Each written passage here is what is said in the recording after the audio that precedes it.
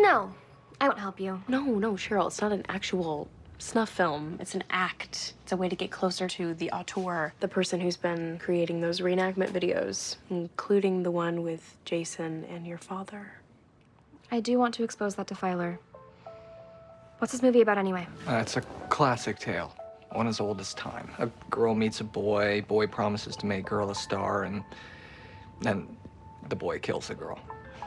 Charming. Okay, but I'll need a wig.